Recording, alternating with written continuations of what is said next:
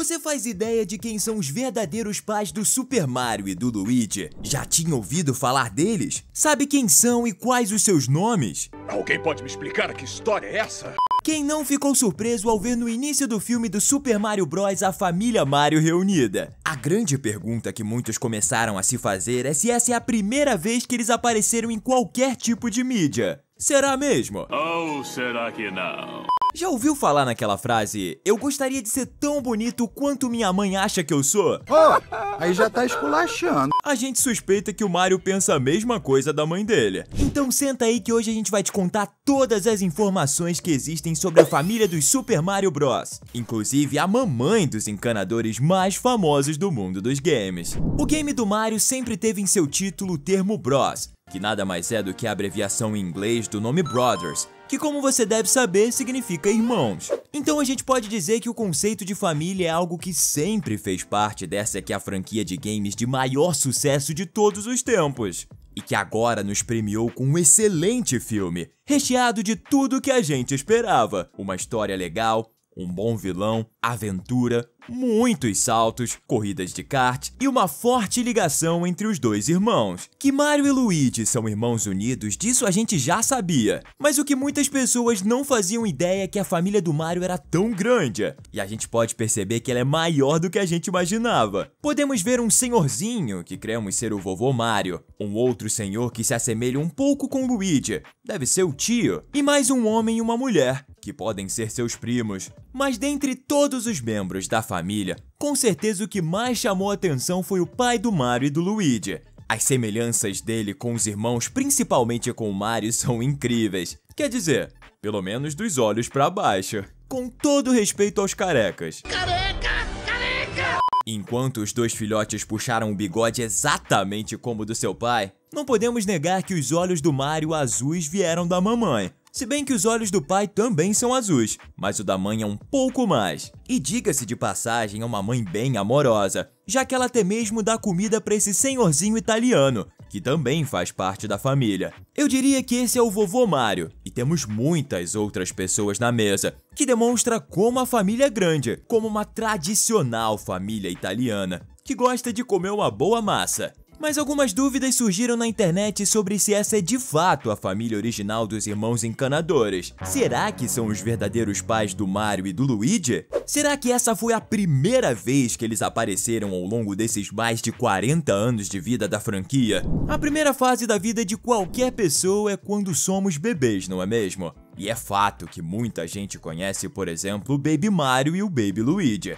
Então, vamos começar por elas afinal. Essas versões apareceram pela primeira vez no jogo Super Mario World 2, Ilha de Yoshi, lá em 1995. No game, o Baby Mario, montado ao fiel dinossaurinho Yoshi, vai em busca de resgatar seu irmão, o Baby Luigi. Inclusive, abrindo um parênteses aqui, em um flashback do próprio Luigi, ele e Mario apareceram em suas mini versões infantis, o que é uma clara alusão e homenagem a esse jogo, que foi um sucesso na época, sempre lembrado como único e memorável.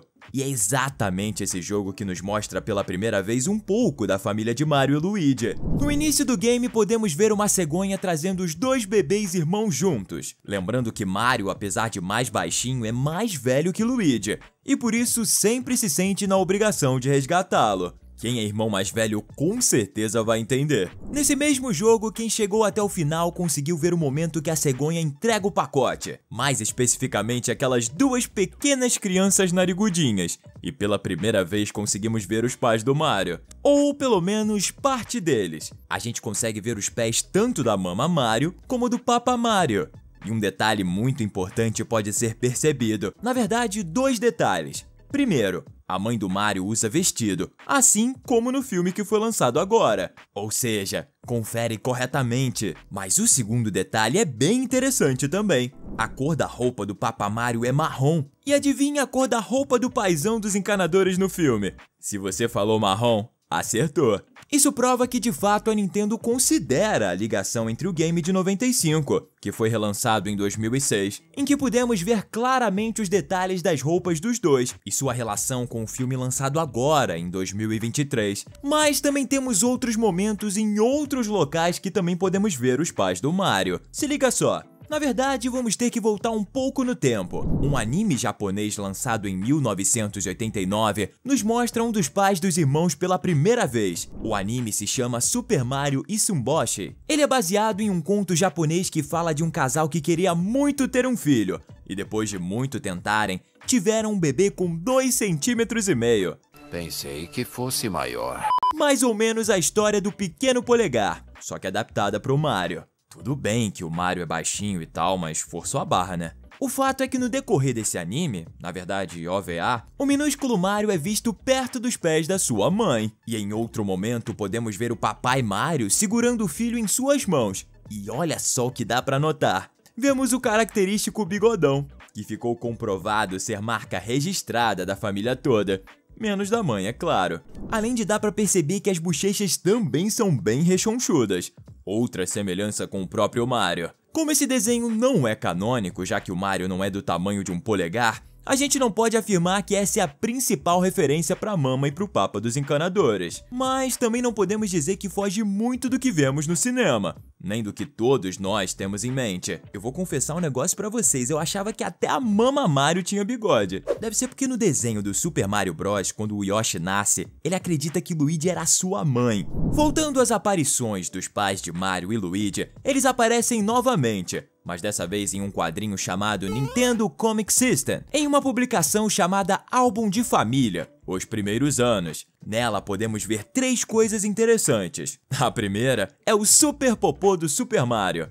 Essa eu não podia deixar passar. A segunda é que o Mario já nasceu com cabelos embaixo do nariz, e ainda criança ele já tinha seu bigode completamente desenvolvido. O que é que a senhora tá colocando nesse macarrão, Mama Mario? Em outro momento, vemos as aptidões de Mario como encanador desde pequenininho. E olha só quem tá sofrendo com isso. Pois é, justamente a mãe do pequeno Mario. E essa é a terceira coisa interessante. Os cabelos dela são loiros, pelo menos quando ela era mais jovem. Mas também podemos perceber que ela tá usando mais uma vez um vestido, o que indica que é uma característica da mama deles mesmo. Também vemos uma foto do Mario fugindo do pai, depois de uma travessura com o cachimbo do paizão. Mas essa não foi a última vez que vimos pelo menos a mãe dos dois encanadores. Na primeira e única série live action dos dois encanadores, pelo menos por enquanto, em um dos episódios chamado Mamma Mia, vemos o que pelo menos deveria ser uma participação da mãe do Mario no seriado. Como você pode ver, já se tratava de um show de palco. No caso, em um palco de teatro. A gente vê o ator que fazia o papel do Mario saindo para levar o lixo, ou alguma coisa do tipo. E no mesmo momento, a Mama Mario chega ao apartamento e é recebida por Luigi. A gente vê que se trata do mesmo ator. A grana devia estar tá curta, né? A gente entende. Mas pelo menos dessa vez a mãe do Mario tava como eu imaginei, com um bom e belo bigode italiano. Assim que ela vai embora, o Mario volta. Coincidência, né? Era tudo mentira! Depois de todas essas aparições, a primeira vez que a gente pôde ver de maneira completa os dois, Mama e Papa Mario, foi agora no filme recém-lançado. Nele a gente consegue ver como que a mãe dos dois encanadores é amorosa e cuidadosa com os filhos, assim como com toda a família. Também vemos como o pai do Mario e do Luigi é também um pouco duro com os filhos, por causa da profissão que eles escolheram, de encanadores. O que significa que, ao contrário do que muitos pensavam, eles não herdaram essa profissão do patriarca. Mas quem sabe não passam ela para os seus filhinhos no futuro, não é mesmo? Quanto aos nomes deles na série de live action, é falado que o sobrenome de solteiro da mãe dos dois era Riface. Se isso é canônico ou não, a gente não pode afirmar com certeza. Mas algumas referências a essa série foram feitas no filme, como por exemplo a semelhança na música, que é um rap de abertura da série, e a música de propaganda da empresa dos dois irmãos.